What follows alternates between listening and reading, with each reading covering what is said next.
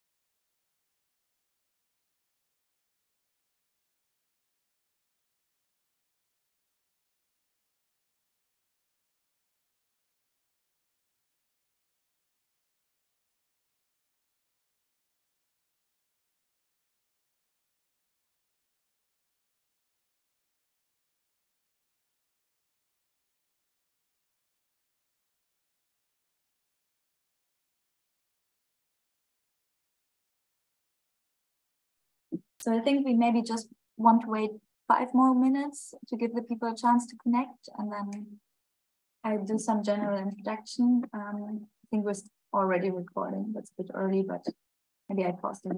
Okay, start the recording. That's fine. So hello everyone.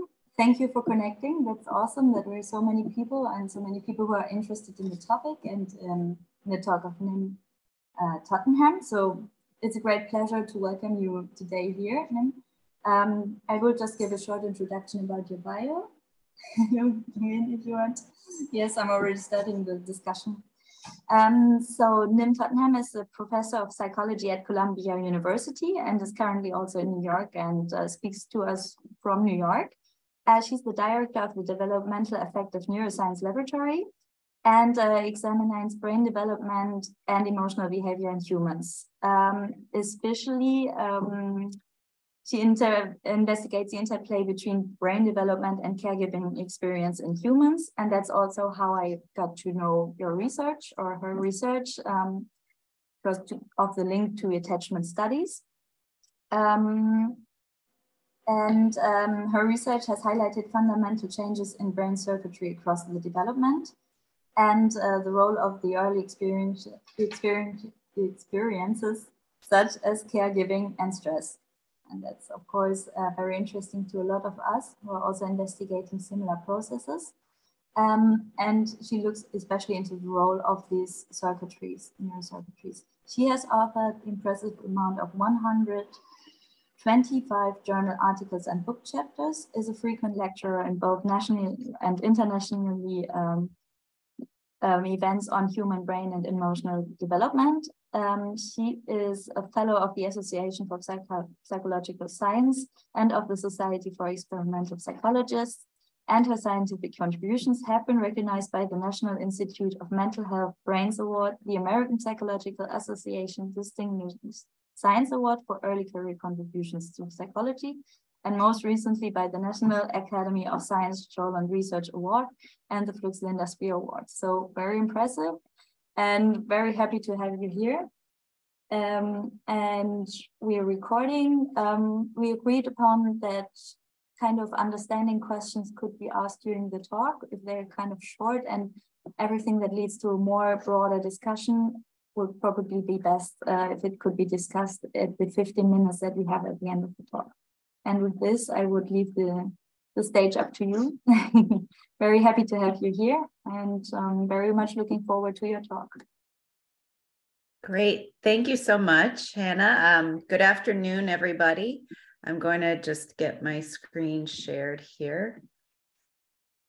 Um, so yes, I'm very thankful to Hannah for this esteemed invitation and excited to share with this group uh, some of our research um, today. I'm sorry that I couldn't be there in person, but I hope I get invited again in the future.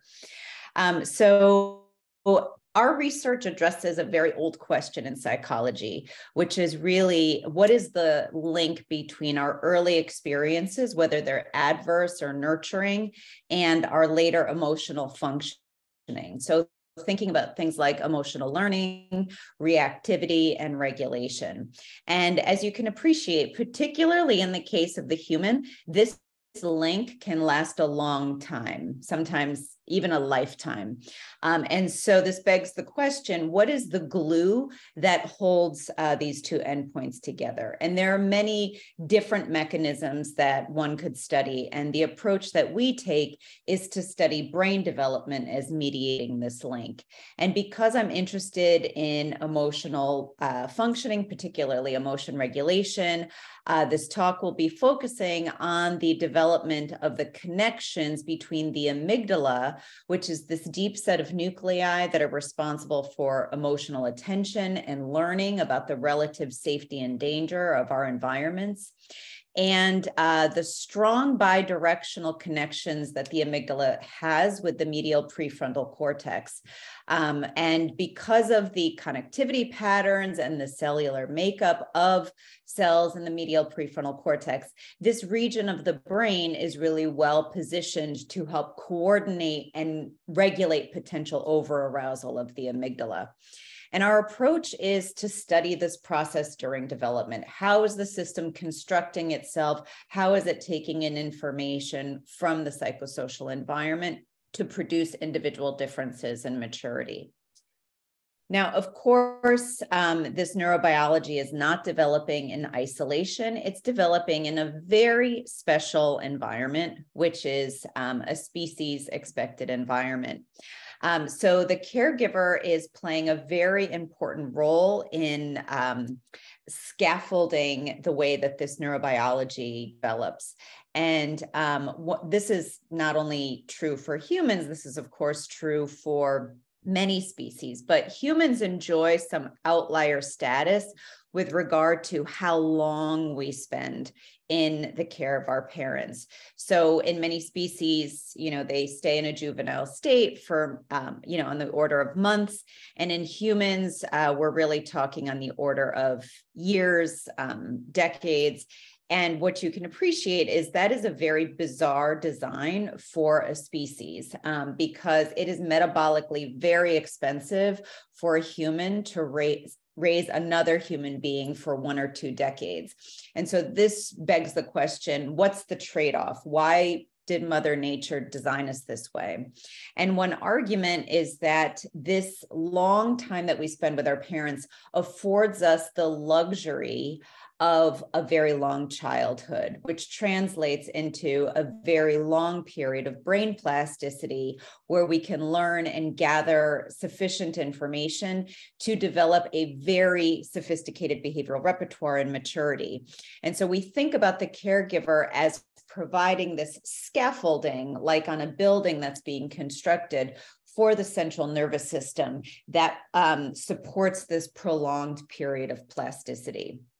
Now, of course, um, oh, by the way, I should mention throughout this talk, whenever I'm referring to human caregivers, I'm referring to mothers, I'm referring to fathers, I'm referring to biological or adoptive parents, grandparents, whoever is the primary caregiver of the child because that um, that's pointing out that this is a learned relationship. This strong relationship is one that we learn over our early years now when we think about brain plasticity, it is a um, metaphorical double-edged sword. and what, what I mean by that is, on the one hand, this prolonged period of brain plasticity may increase our risk for mental illnesses that are associated with adverse environments.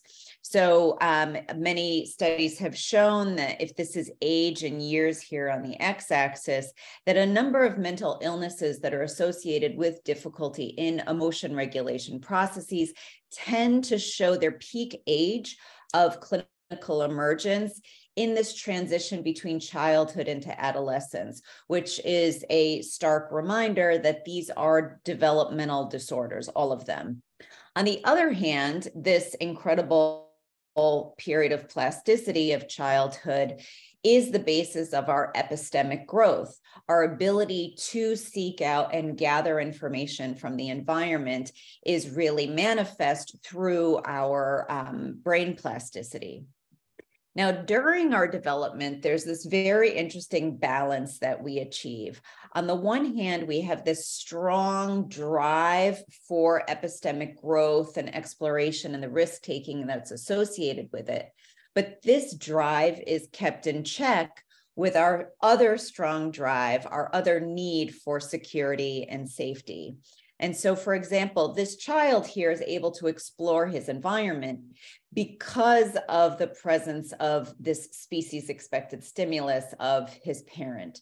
So, in other words, the parent is enabling efficacious exploration of the child by being a source of security um, for him. So it's for this reason that uh, people like Alan Sroufe have argued that the caregiving relationship is an asset to the child and that it affords him or her the luxury of exploration and risk taking. Now, in maturity, our central nervous system plays a large role in ensuring our safe and independent exploration. And today I'm going to be focusing on the amygdala and its connections with the medial prefrontal cortex in their central role in mature emotion regulation behaviors. And the premise of my talk is that the caregiving relationship plays a central role in establishing the neurobiology of mature emotion regulation. Now, across many studies um, from our lab as well as others have shown that the amygdala seems to show this strong and early uh, functionality. So this is age here on the x-axis. And what studies often show is this robust response early in life um, that tends to attenuate at older ages. And that makes a lot of sense because when we're young and little and relatively new to this planet, we have a lot of learning to do about the safety and danger of our environments. So we want the amygdala functioning at a relatively early age. However, um, studies have also also showed that um, this high amygdala functionality is occurring in the relative absence of adult-like connections with medial prefrontal cortex, which often don't emerge until um, sometime in adolescence.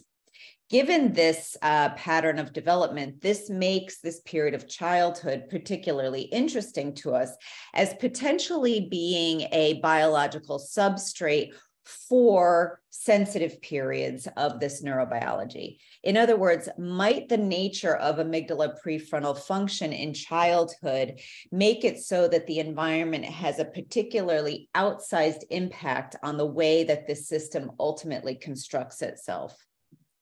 So, in other words, we've been very interested in this question of whether childhood is a sensitive period for the development of these connections between amygdala and medial PFC.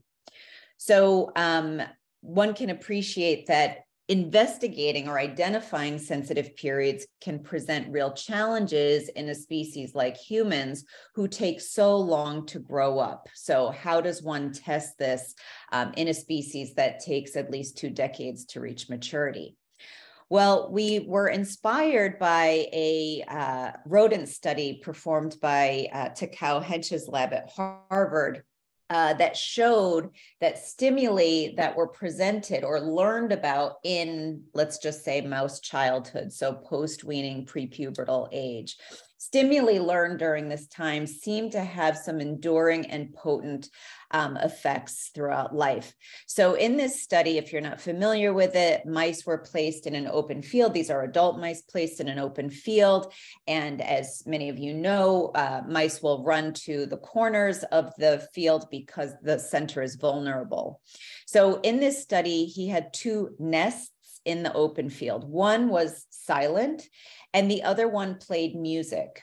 And uh, the typical adult mouse will avoid the music nest, they'll approach the silent nest. However, if during their childhood period they were pre-exposed to music then in adulthood they would start to gravitate towards the music nest and the songs were this preference was song specific. So if they were pre-exposed to beethoven then in adulthood they would prefer beethoven and not jazz or vice versa.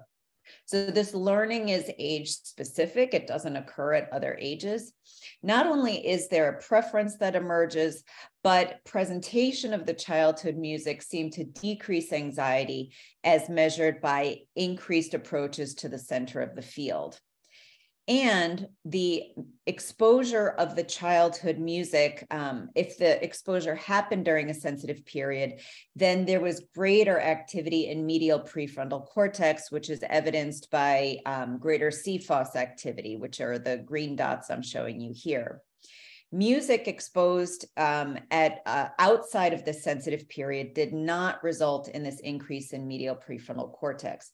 So not only was medial prefrontal cortex increased in response to the childhood music, but also strengthening connectivity between amygdala and medial prefrontal cortex. So we were inspired by this study because it music perhaps gave us an avenue to start investigating potential sensitive period activity in humans. So, in other words, um, maybe not Beethoven and jazz, but maybe if we used pop music, um, where we have a little more confidence about how old you were when you were probably first exposed to certain songs. Perhaps we can be better, more confident at targeting that sensitive period, that putative sensitive period in childhood, rather than um, those outside of this period. So the study approach worked like this. We brought in young adults in the year 2012, and we wanted a stimulus from someone's childhood. So, in other words, when they were about seven years old. So um, we do the math. That means we need a stimulus from about 1997 for these young adults. So we searched through the archives and we found a stimulus that um, could help us here.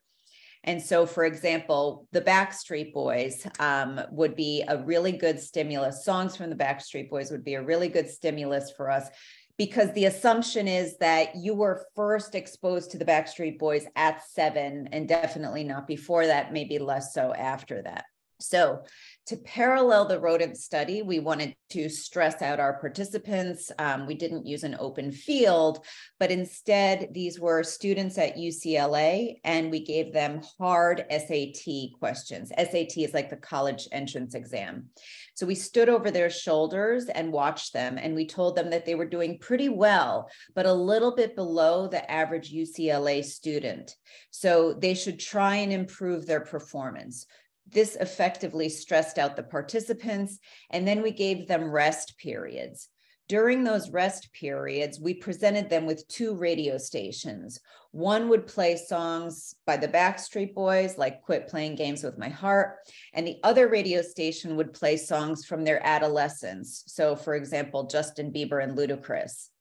And just like in the rodent study, we assessed their behavioral preference for one set of songs versus the other.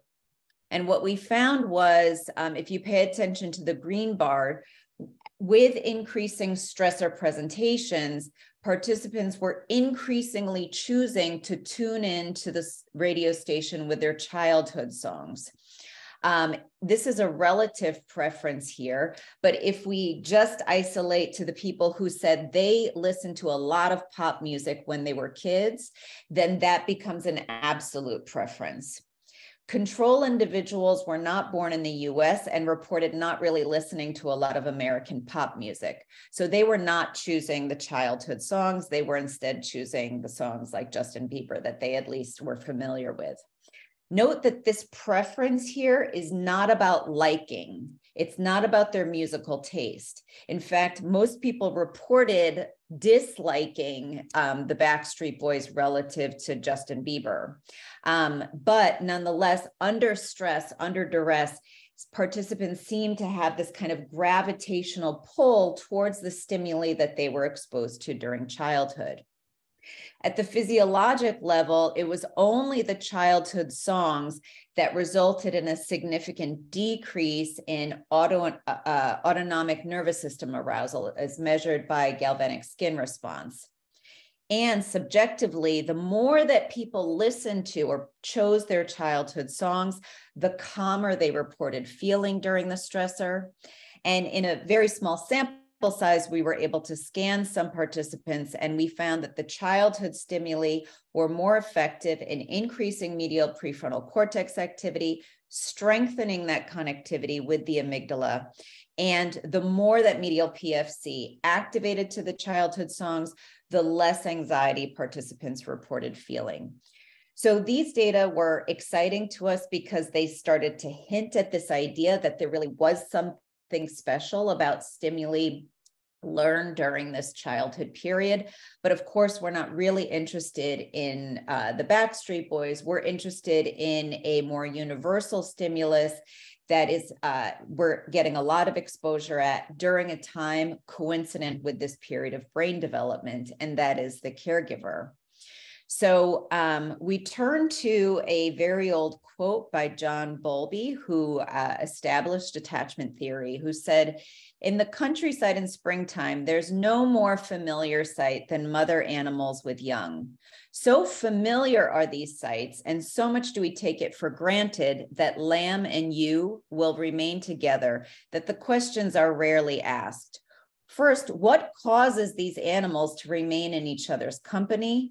And what function is fulfilled by doing so. So I really love this quote because I love studying things that we take for granted. And um, I think, like gravity, like sunlight, parents are something that's easy to take for granted, and yet they have really powerful effects on our development. Now, in um, some early work on the sensitive periods of affective behavior, it established that there's this very important sequence of developmental events for different learning systems. Namely, there's this maturational delay between affiliative learning systems, you know, learning to approach something, and our fear learning systems, learning to avoid some, uh, uh, stimuli. So, for example, in this uh, study with puppies, uh, it was shown that if a puppy was first exposed to a human handler early in life, um, you would get affiliative behavior in the puppies. However, if that same exposure happened at an older age after this affiliative critical period or sensitive period, then fear behaviors emerged. Um, and uh, this idea of a staggered developmental sequence really makes sense for a species like dogs as well as humans who have to learn an affiliation to their caregivers for survival. So, this order makes sense because fear systems will interfere with affiliation learning systems. And this is the affiliation systems are the critical systems um, necessary for attachments to form. Now, this, uh, uh, right, so this learning uh, seems obligatory because it will occur even in the presence of shock. In fact, shock during this age will actually enhance affiliation learning, enhance approach learning. Um, and this type of behavior is the reason why Bowlby stated that early affiliative learning seems to defy the rules of reinforcement learning. More recently, Regina Sullivan at NYU, her group has replicated this effect in rat pups using a fear conditioning paradigm. So, if you're not familiar with this work, simply she pairs a neutral odor, in this case, it's a peppermint odor, with a foot shock. Now, what she finds is uh, if we take an older young animal uh, and place that peppermint odor in a Y maze, this animal will do what you and I would do. It would avoid that peppermint odor because it had been paired with a foot, a foot shock. However, in a very young animal, they will show some pretty bizarre behavior. They will actually approach this peppermint odor. And that replicates that early affiliative learning, predating that fear learning. Now, this same behavior has been shown to underlie learning of the mother's cues. I'm saying mother here because these are rats, but learning the parents' cues. In other words, this is the basis of attachment learning, and the amygdala plays a large role in this type of learning. So now, if we focus on these older animals who, in the mother's absence, are doing what you and I would do, they avoid the peppermint odor that's what I'm showing here. They're avoiding the peppermint odor like you and I. However, if you now place them in the mother's presence during initial acquisition, these animals will now show that infantile affiliative behavior. They will start to approach that peppermint odor, and that's what's being shown here. So the mother's presence is switching their behaviors, switching their fear learning from an avoidance to an attraction. And the amygdala is involved in this in the following way. Here's rat age on the x axis. There's this period where amygdala function is critically dependent on the mother's presence. So when the mother is in the nest with the rat pup, she decreases cort production, um, uh, cort- cortisol in humans, corticosterone in, in rats. She decreases cort production, which prevents amygdala from engaging during fear learning. So initially, so essentially, the amygdala is silenced. However, if the mother is away, she's out of the nest, those processes reverse. Amygdala is free to participate in fear learning. And that's why you get the more mature amygdala based avoidance learning that you and I would show. So, in other words, the mother's physical presence is changing what neurobiology is participating in fear learning. And when she's present, she is buffering the activity of the amygdala silencing it during fear learning and therefore enabling alternative learning mechanisms to mediate learning and you get this seemingly bizarre related approach behavior so this is an important process or it's uh, posited to be an important process for attachment learning. But it's also an important reminder that the developmental state of the young altricial brain is designed perfectly to coordinate with parental input. In other words, the young brain is not, the immature brain is not simply a miniature or um, deficient adult brain, but it's actually perfectly designed to do what it's supposed to do at that developmental moment in, in time. So we were very keen on asking whether human uh, uh, learning is affected in a similar way by parental presence. So, in collaboration with Sullivan's Lab, we uh, tried to develop a human paradigm asking the same question. Um, and we brought in very young preschool age children, three, four, and five year olds. And we presented them with a, uh, a blue square. This was our CS plus, our conditioned stimulus, and it was paired with a co-terminating, um, we didn't shock children, but instead we used a very aversive noise. It was like loud nails scraping down a chalkboard. Um, young children don't like this noise, adults don't like this noise. So the blue square was paired with this aversive noise. The triangle was never paired with anything. Children learn this association either alone or they learned it with their parent present. The parent's not doing anything, they're just physically present in the room. Later, after acquisition, parents went away and we placed children into a human and Y maze. And we placed the CS plus on one arm and the um, CS minus on the other. We asked children to enter this, uh, this maze and pick a door to retrieve a prize. And we showed them, showed them that it was the same bucket of prizes behind both doors. We just wanted to see which door they preferred. So they did this five times. And what we saw was that when children conditioned alone, they did what you and I would do and what the rat pups, when they conditioned alone, did. They avoided that nasty blue square. However, if, if children conditioned in the presence of their parent, they did what those young rat pups did when their parents were present, and they showed this seemingly bizarre approach related behavior towards the CS plus, which again, I keep saying is bizarre, but actually makes a lot of sense for the necessity of affiliation or attachment learning in an altricial species like a human. We were also interested in seeing if the amygdala in children were, was similarly modulated by parental cues. And so we performed um, an fMRI experiment. We did something very simple. We simply presented um, children pictures of their parents for 30 seconds and alternated that with pictures of somebody else's parent, a stranger, for 30 seconds. And what we observed was that in childhood, parental pictures was associated with a decrease in amygdala reactivity, which we interpret as a parental buffering of amygdala reactivity perhaps similar to what uh, has been observed in the rodents that we no longer see in adolescence. And that's not to say that parents aren't important during adolescence, they certainly are, but it may be at the level of the amygdala, parents have started to lose their efficacy.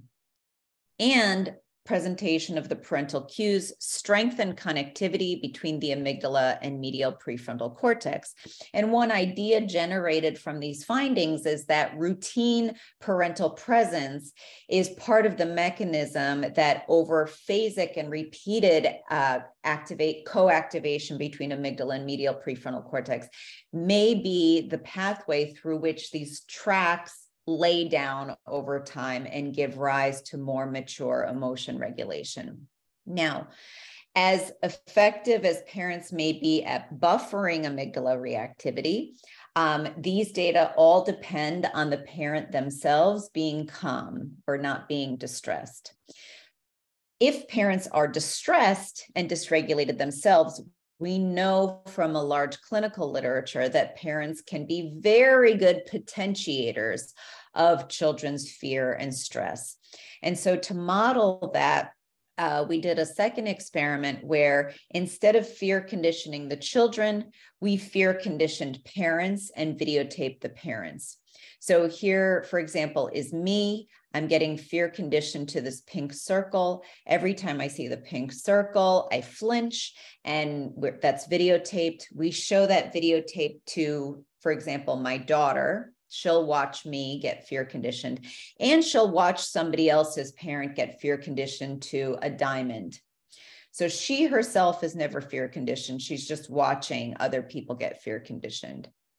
And what we observed is uh, following acquisition, my daughter would show a greater amygdala rate response to the cue that I fear conditioned to relative to the cue that somebody else's parent conditioned.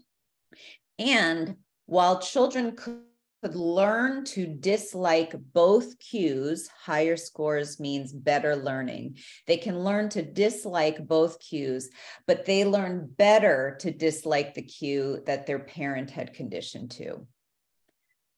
Now, um, we not only scanned children while they were secondhand conditioned, we also then scanned par- their parents during firsthand conditioning. And we observed this intergenerational correlation between amygdala and medial prefrontal cortex, such that the parent with a very high amygdala response during their own conditioning had children who, who exhibited decreased prefrontal cortex while observing their parents' condition and vice versa. So these data tentatively paint a picture whereby an intergenerational um, neurobiological association exists um, where parents may be indirectly buffering their, their children's amygdala reactivity during observational learning. Okay. In my last 10 or 15 minutes, I'm going to talk a little bit more about a special population of children that we've been working with for about the past 20 years. And these are children who've had experiences of caregiving related early adversities. I'll be abbreviating this as CREAS throughout this talk. We specify caregiving related. There are unfortunately many forms of adversity that children can be exposed to. But because we're interested in emotion regulation, development, we are particularly interested in those experiences that disrupt the integrity of the parent child bond. Now, um, in the first set of data that I sh- I'll show you, these are data from children who experienced early institutional care, what we commonly call orphanages. Um, what that means is these are children who experienced abandonment or, or separation from their parent, their biological parents, and then uh, being raised in a kind of warehouse environment with no parents. And what we see is on average, there's an increased risk for amygdala to exhibit hyperactive uh, responses to stimuli like fear faces and atypical connectivity between amygdala and medial prefrontal cortex. What does that atypical connectivity look like? Well, um, what we observed was it, it, it, was it was not what we expected. Um, I'll say that. So, unlike a comparison group of children who did not experience CREAS or early adversity, um, who show this childlike connectivity uh, between amygdala and medial prefrontal cortex that switches to a more adult like pattern in adolescence. Children with the history of CREAS showed what looked like a more adult like pattern, even during childhood from four to nine years old. So these data um, got us looking at a lot of the rodent literature, which showed that actually this is probably what we should have expected because there uh, there's a lot of evidence of this stress acceleration in neurobiology associated with fear learning. And I list here just a, a, short but growing list of phenotypes, both behavioral and neurobiological, associated with or reminiscent of this acceleration. And um, that these data give rise to the notion that sensitive periods, which is a period of heightened brain plasticity, sensitive periods themselves are plastic, meaning this is a very nice review paper by Janet Werker and Takao Hensch, but meaning that um, the moments in development when the brain is particularly plastic may uh, delay or accelerate their onset. And uh, one hypothesis is that caregiving adversity may lead to this accelerated or more precocious sensitive period for fear neurobiology. And so the idea is that if this is age on the x axis, and we typically see amygdala medial prefrontal cortex um, connectivity emerging during adolescence sometime, perhaps amygdala hyperactivity induced by very stressful environments for a human infant may lead to the earlier instantiation of these con- connections uh, with cortical regions. Now, one idea that we have is this is an adaptation. This actually serves some immediate benefit for the individual in meeting their um, needs at the moment. However, this may also co occur or produce a reduction in developmental plasticity. So, to further test that question, um, we uh, asked whether uh, accelerated development following CREES may place limits on parental buffering of the amygdala. So we repeated that parent stranger fMRI paradigm. And what we observed, these are the data I showed you earlier, where children with a typical caregiving history showed reduced amygdala reactivity to their parents. Following CREES, we did not see that decrease in amygdala reactivity um, consistent with the idea that there might be a truncation in this childlike uh, brain pattern. However, what uh, the astute observer is looking at is these are very large error bars. And so, what that suggests is there are individual differences here. There are some children who are going to show amygdala buffering and those who aren't um, even uh, with the same early experiences of CREES. So we interrogated those individual differences longitudinally. And if you pay attention to the right side of the screen here, what we're showing is we split uh, children into those groups that showed buffering of the amygdala at time one and those who didn't um, and we're plotting their anxiety. So at time one, these two groups did not differ in anxiety, and they're both uh, higher in anxiety than children without the CREES history. But over time, if children showed buffering of the amygdala at time one. They also showed significant decreases in their anxiety over a two year period, so much so that there was no statistical difference between them and the comparison group, whereas the children who did not show buffering at time one maintained those high um, uh, anxiety levels. Now, what differed between those two groups? In, uh, in our data, it was the difference was their reported attachment security with their parents. So children who showed buffering of the amygdala at time one were also those who reported a stronger attachment relationship with their parents. Um, now, obviously, we cannot say anything about directionality here, but the data are consistent with um, other findings from our lab as well as others. Uh, showing the importance of family relationships. So, if you pay attention to the right side of the screen here, on the x axis is the child reported feelings of security with their families. Um, mind you, these are adoptive families here. Um, and the more security children report feeling, the lower their internalizing problems, or in other words, the lower their anxiety and depression. So, in my last few minutes, I'll just share with you the newest direction uh, of our lab. We've been looking at our data and looking at it in the larger context of the literature on amygdala medial PFC neurobiology. And this neurobiology comes up a lot in the literature, which many of you are uh, aware of. So it comes up a lot in emotion regulation neurobiology in the adult literature. This neurobiology is also modulated by parental cues, as I've discussed today. It's also altered by early caregiving adversity, and it comes up in many other um, behavioral domains as well. And there was a very nice um, uh, paper written by Roy and colleagues that present a conceptual synthesis of this neurobiology, suggesting perhaps this neurobiology serves a larger function of representing semantic level affective knowledge.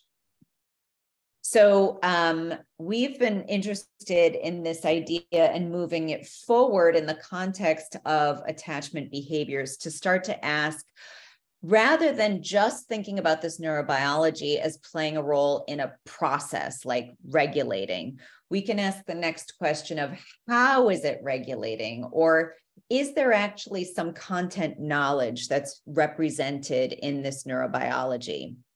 And so we can start to ask, well, if so, how does this knowledge get built? So I will uh, first use an example from cognition to explain myself and then bring us back to emotion.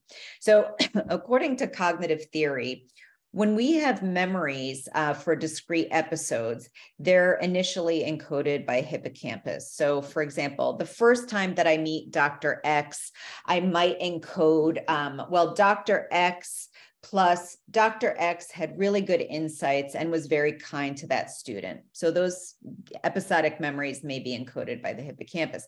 But with time and repetition of meeting Dr. X, those memories can become abstracted or semanticized and decontextualized. And that process um, is abstracted into these midline structures, including medial prefrontal cortex as well as PCC. So the memory representation is transformed into a more schematic version in cortex.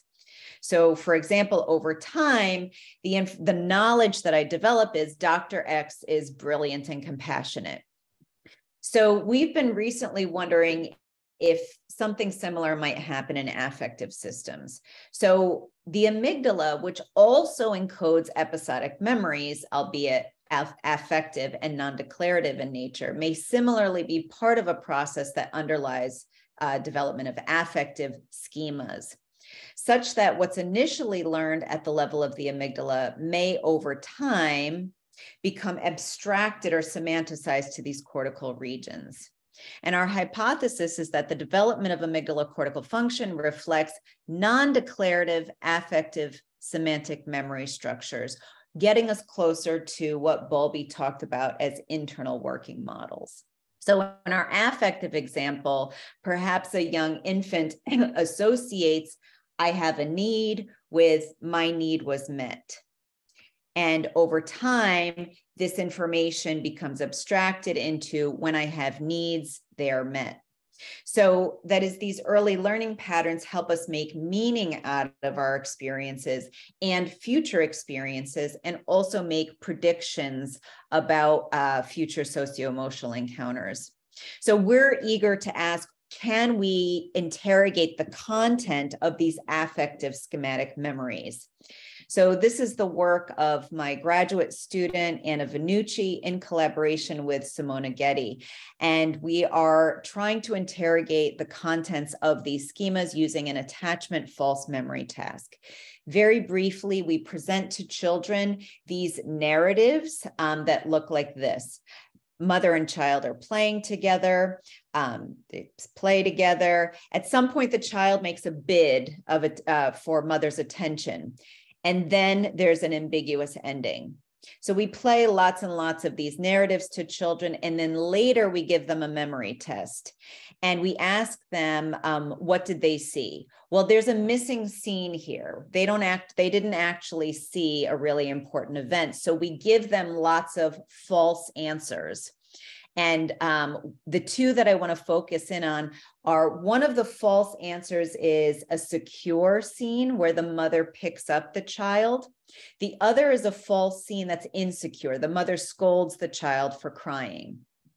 And so we uh, looked at how children falsely reported what they saw as a function of their early Cree exposures. And I'm going to show you averages on the right representing children incorrectly inserting a secure scene into the narrative. And bars on the left are going to be children incorrectly inserting an insecure scene. So there was no difference in falsely inserting a secure scene between the children with and without a history of Crees. But there was an increased tendency of falsely inserting an insecure scene for children with a Crees history, suggesting to us that truly the content of the affective knowledge, not anything that children can explicitly articulate, but the way that it informs their interpretation of uh, events in their environment may be altered by these different caregiving histories. So, in summary, what we think is happening is here's age on the x axis. Parents may be particularly effective contexts in amplifying or attenuating these fear learning systems in childhood. It's not that parents are the only stimuli or the only context, but they're certainly very important. Um, and parents may be helping to maintain some kind of affective homeostasis during development. And we have some ideas about pathways that are turned on or turned off by parent availability or parent distress or regulation. Um, many of those are probably wrong, but um, the idea is that what's happening during this period is critical because it gives rise to the individual differences in um, emotion regulation later on in adulthood. And so perhaps we can start to start to think of parents as having some sort of privileged um, access to these deep limbic learning systems so to conclude, we see that human amygdala cortical circuitry develops very slowly, but that there's value to this slow pace. And we see the transition to adult like phenotypes emerging during adolescence. This therefore gives us very long sensitive periods as humans for environment uh, influencing amygdala cortical connections. And parents may be a primary source of social regulation over this neurobiology. And one of the areas we're really excited about is thinking about developing amygdala cortical circuitry as part of a neural basis for our attachment related schemas. Excuse me. I think I got too excited about it. So maybe these attachment related schemas are one way to think about these emotion regulation behaviors that we see in adulthood. And CREs may increase the risk for altered amygdala cortical development and attachment schemas, but there are large individual differences, including adaptations and accelerations. And finally, strong parent child relationships are always important, um, but they may be especially important in the wake of uh, earlier adversity. So, with that, I will acknowledge my funding sources, thank the lab members and the families and individuals that participated in these studies, and thank you for your attention. And I'm happy to take any questions. So, thank you very, very much for this awesome talk. Here are already some clapping signs on the audience think this was very, very great, great. And you have, you presented research that I find immensely creative. Actually, that's, that's awesome to see this kind of uh, paradigms that you apply and very interesting. Um, so right now there's the chance to, to take questions from the audience. There's already one in the chat reading, um, could we say that in humans, the stress hyperresponsive period exists. Could we be the locus coeruleus by mediating the plasticity of sensitive periods? It's a great question and one that um, I've seen the literature go back and forth on. Um, so uh, Megan Gunnar, who was my grad student advisor, has um, uh, certainly produced evidence of what looks like hyperresponsivity in infancy. Um, and so in other words when uh, when infants are receiving inoculations um, vaccinations they seem to there seems to be this period in the first year of life when parental presence is really effective in uh, buffering stress responses.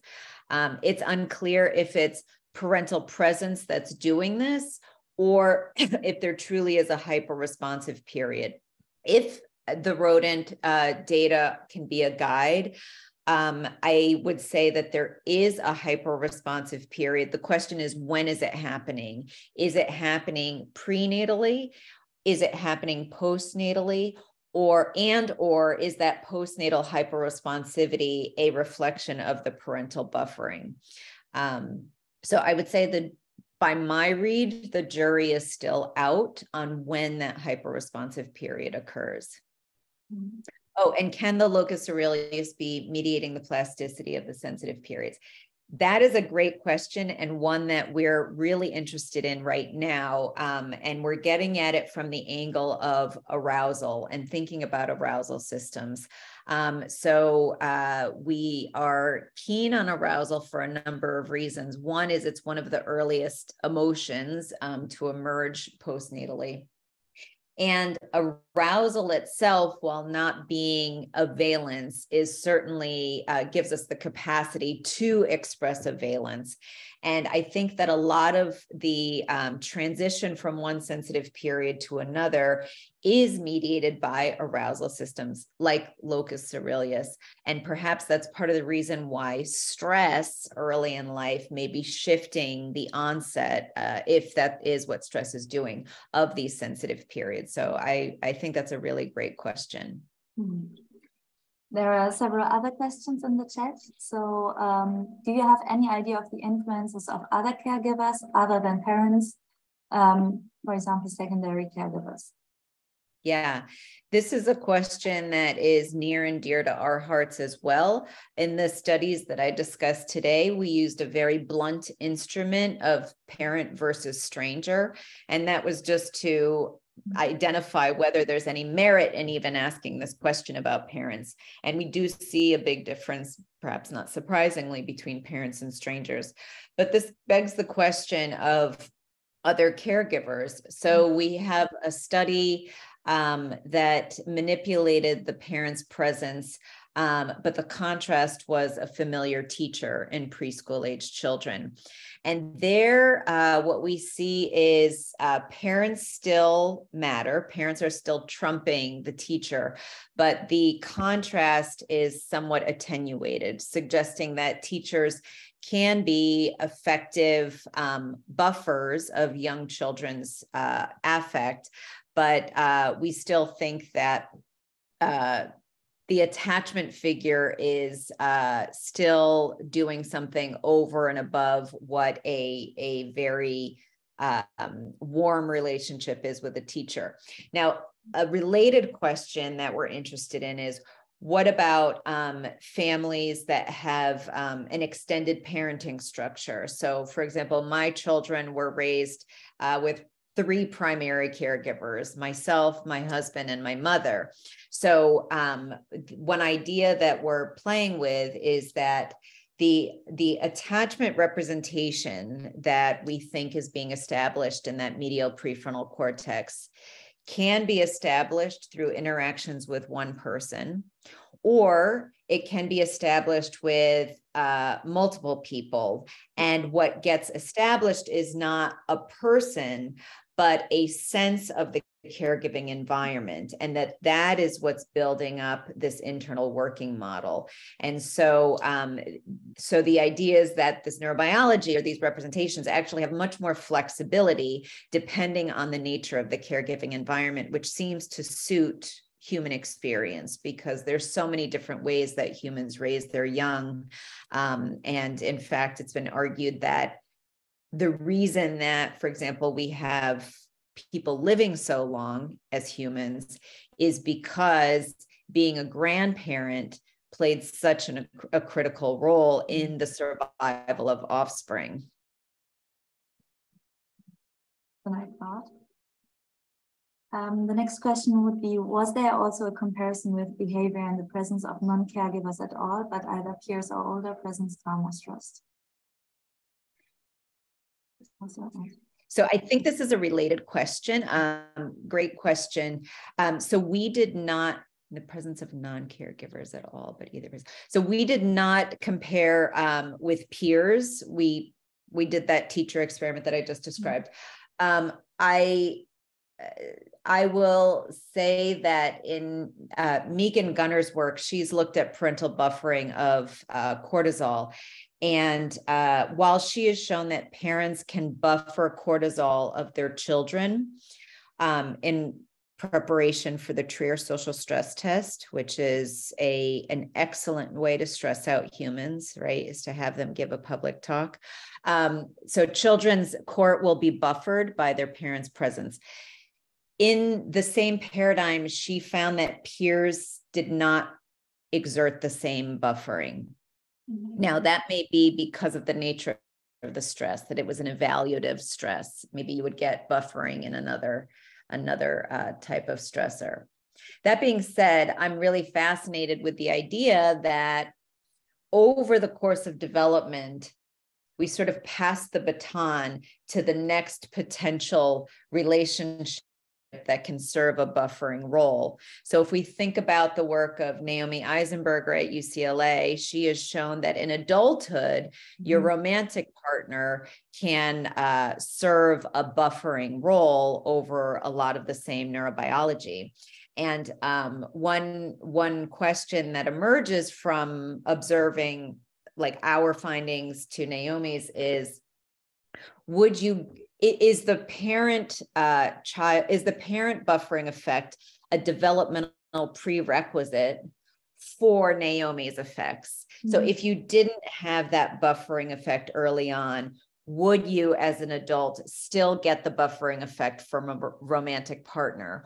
Or is there some type of hierarchical relationship? So um, we've been thinking a lot about these schematic affective semantic memories and how do they change over the course of development? Do we have one schema that I apply to everybody? Do I develop multiple schemas and I have an if then clause um, depending on the context? Or the idea that I'm most keen on is that we have this sort of hierarchical arrangement of these different schemas. So we have our initial schema schemas based on our earliest relationships that and then as our relationships become more sophisticated and perhaps a little more separated from our most intimate selves um, those uh, later schemas that we apply to friends and romantic partners may uh, be contingent on the nature of that initial relationship schema. Yeah, interestingly, we had a talk uh, from Pascal Vrtička before, a year ago, and he actually talked about adolescence as a special window in um, in attachment and also discussed this kind of peer effect on attachment related cues. And i think it was the opposite that they were more insecure and that they relied a bit more on the peers and um, yeah there was some kind of shift so he has a paper latest paper on that where he also assessed fMRI data and also the eisenberg paradigm Mm-hmm. So that perfectly adds to that. Um, another question from the chat. Do you have a difference for the critical window in development between males and females? It's a great question. Um, we do not, and unfortunately, our, our studies aren't statistically powered to adequately address that. Um, if I had to take a guess, um, perhaps this is your guess as well. I would think that girls may show an earlier sensitive period slightly on average. And the basis of that guess is um, in terms of a number of developmental systems. As we know, girls tend to show earlier onsets. Um, but even in terms of uh, something as uh, like amygdala volumetric growth, girls tend to show a slightly earlier um, uh, emergence, and that's the work of Elizabeth Sowell. So, so I don't know the answer based off of our work, but that would be my hypothesis. Next question, have you studied the difference between good and bad relationships with parents during childhood, like, for example, parental aggression? Yeah, so thank you for that question. Um, it's certainly a question that we're ultimately very interested in. We have paid less attention so far to individual differences in parenting behaviors, not because they're not important, but because so much of the literature on parenting through my read has focused on those individual differences, but perhaps um, in a way not addressed the more fundamental function of what good is a parent i mean that that question is really kind of what's driven a lot of our work um, mm-hmm. um, what good is a parent in general, regardless of the quality of the relationship.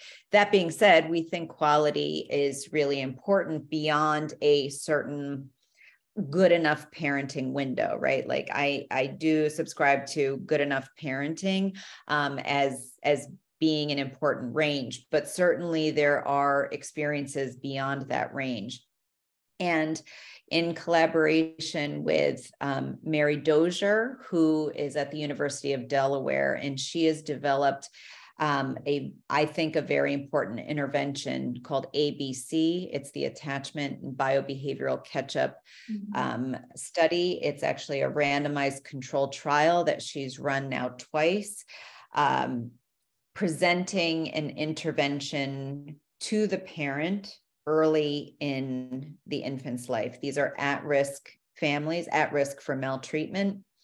And what she's shown repeatedly is the intervention is going to the parent. In other words, the infant is never touched, right? It's just going to the parent to focus to refocus their parenting strategy. Mm-hmm. And year throughout years of the child's life, she's shown that uh, a, a causal effect of this intervention on children's emotional development, their executive function, their cortisol, and um, more recently, we have uh, been able to collect imaging data and we show that um, we get these differences in amygdala, prefrontal, and PCC activations um, as a function of this early intervention. Now, that work um, shows that attachment re- related behaviors are um, more likely to be atypical in the control arm, those who didn't get the intervention. And one is more likely to see what's called disorganized attachment patterns, um, which are the, the most clinically worrying types of attachments and that's been uh, in a in one single paper been paralleled by a rodent model of this adverse or at risk um, type of parenting um, and so to answer your question, we do think that really adverse parenting is going to interfere with this development in the same way that I described the CREES would.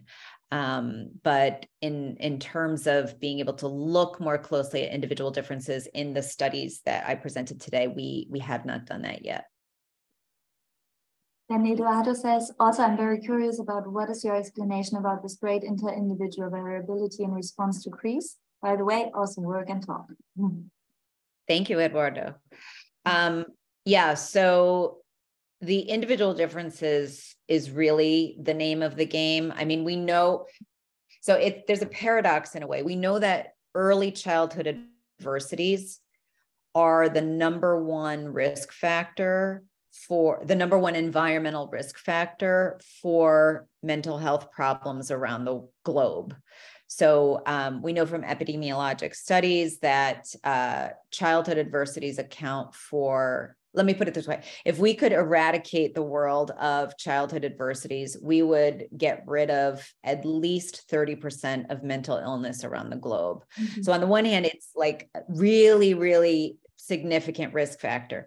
And yet, on the other hand, the paradox is um, that there are huge individual differences, and many individuals, despite experiencing these um, these events, are thriving um, or or don't show impairment um, in cognitive or affective domains. So um, so we're we're very interested in that for a number of reasons. And one study that I didn't present on today, but we just finished data collection on this last month was a six year long study that is specifically focused on heterogeneity and outcomes and trying to better understand what are the um, what are the risk adverse experiences what are the later amelior potentially ameliorative events um, in in individuals lives um, and we're just at the early stages of analyzing these data. But if I had to put my money on something, I would say that um, the the strength of subsequent family relationships is probably the thing that we should be really focusing on. Obviously, there's a number of other um, uh, important events uh, that promote growth for individuals who experience early adversity. But I think that the family, depending on the age that you're you're talking about, I think the family is is probably the way to go. And um, yeah, so so that's that's where we're at. The next question is Which mechanisms could be behind the power of caregivers to have a such powerful influence well, attachment researchers would extremely cry attachment. um, so, but on a molecular level, so David yeah. odorants or molecules whatsoever? So great question. Um, so I can only take my cues from the rodent literature, which obviously can get down to the cellular level, um, and humans cannot. But um, uh, depending, I, think there are multiple pathways. So I can start listing some and then talk about them um, in more depth. So um, uh, obviously, you know, people have looked at oxytocin pathways, people have looked at um, opiate pathways, people have looked at um, dopamine pathways and serotonin pathways, um, looked at cholinergic pathways. Um, so, so the list starts to become exhaustive. I do think there's specificity in there, but um, the broader answer is I think that when we think about caregivers, um, and this influence, it's it's most certainly not going to be one pathway because the caregiver, I'm, I'm thinking about the early work of Myron Hofer, who showed in rodent models that the caregiver isn't doing one thing, but the caregiver is this mega regulator of the infant's homeostasis. So they're regulating hunger, they're regulating temperature, they're regulating um, emotions, uh, they're regulating attention of their offspring. So we can really think about the caregiver as being this extended brain for the infant in a species like mammals who have to form that um, that interdependent state for survival.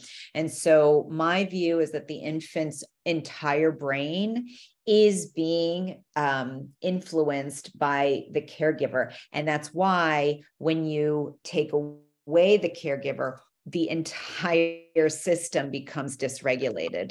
Um, and over you know over short periods of time, that's fine. That's probably actually a good thing because it helps tone uh, the system. But in a chronic state, um, that's where I think we increase the risk for psychopathology. Um, but to more directly answer your question, I turn to the work of Regina Sullivan, who's shown that the caregiver, one of the things that the caregiver is doing is that the mother in this case is she's preventing dopamine release in the amygdala. And that uh, prevention is happening by way of um, uh, CORT and uh, paraventricular nucleus. Um, and uh, that process in silencing the amygdala allows for it's the rodent and we're talking about olfactory cues but silencing the amygdala allows for um, piriform cortex to mediate learning. And when piriform cortex is mediating learning this is an odor based learning you get that preference behavior that approach behavior that i showed. Mm, okay then there's also another uh, Florence, is saying, thank you for this very interesting talk with some thank you notes. Um, if there are no more questions, I would say that we wrap it up here with the official part of the seminar and we pass on to the students discussion. And I would encourage every student um, to stay online and we're gonna pass to this next um, to this next phase of the seminar.